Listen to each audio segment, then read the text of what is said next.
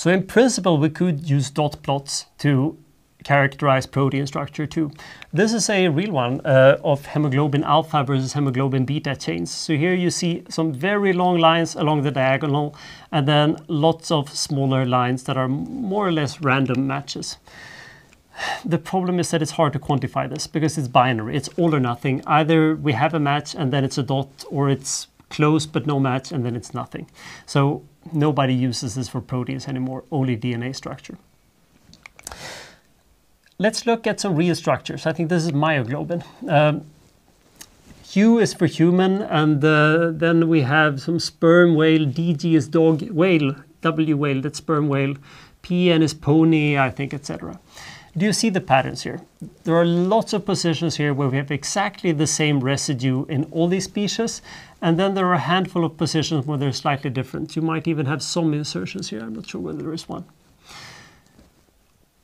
we could try to calculate some sort of average or at least consensus because if I demand that I can only, if I say that I only assign an average if it's exactly the same residue, well, as the number of species grows, remember there could be hundreds of thousands, at some point I will never ever have any position where every single species have the same residue.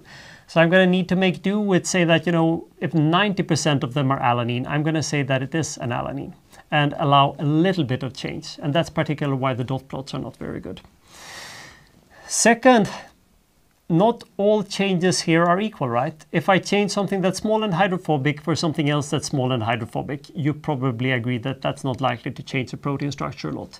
But if we change small and hydrophobic to something large and charged, that's going to be a very large change. So one way or another, we're going to need to find a way to characterize and calculate these changes and see how important they are, and ideally be able to go from these structures and predict what the sequence, what the, from these sequences and predict what the structure is. Because remember, all of these sequences have the same structure. How do we do that? Well, if I plot just a small fake sequence here, uh, do you see the similarities here? There are some things that are similar, but it's not entirely easy. So if we go there and if I insert a little bit of gap in one of them here, now I get C, K, F lining up. So first I have the C there, that's a match. There are more matches, but I won't show all of them. Then I have this gap or insertion. So it's a gap in one sequence, is an insertion in the other sequence. That can happen.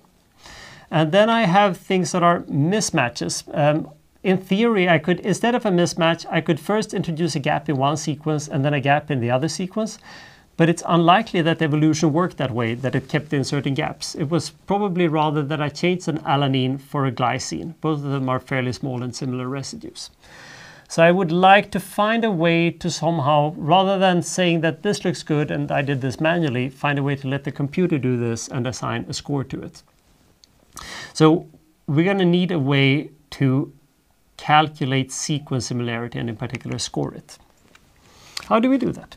Well, if I just had that example alignments of myoglobin with different sequences, we can calculate that. It's not particularly difficult and it's the way to do this goes beyond the class again, but just to show you that this is not something magic we're lining up, I can calculate what is the probability of matching, say, an alanine to a glycine.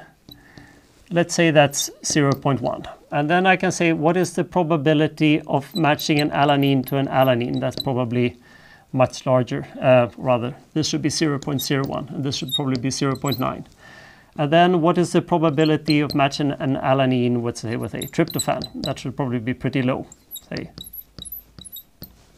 etc. If I do that, the probability of matching everything, that should be the probability of matching impulse 1 multiplied by the probability of matching impulse 2 multiplied by the probability of the match impulse 3 multiplied by the probability of matching impulse, etc., all the way up. The problem is that first we need to multiply things a lot, uh, and multiplications can be a bit expensive on computers, not that bad anymore. But in particular, when these numbers are small, we can actually end up with underflow. If once we get to 10 to the minus 30 or so, computers can no longer calculate. So in practice, what we typically do is that I introduce a score where I say that S is a logarithm of the probability. And by probability here, I can literally, these probabilities literally just come from counting. Uh, how common is it that an alanine is replaced for a glycine versus not? In that case, I get that S tot equals S1 plus S2 plus S3 plus S4, etc. So I literally get score numbers that I can add up. And this is the entire basis of bioinformatics. But just know that we could actually derive this from probabilities. It's nothing magic.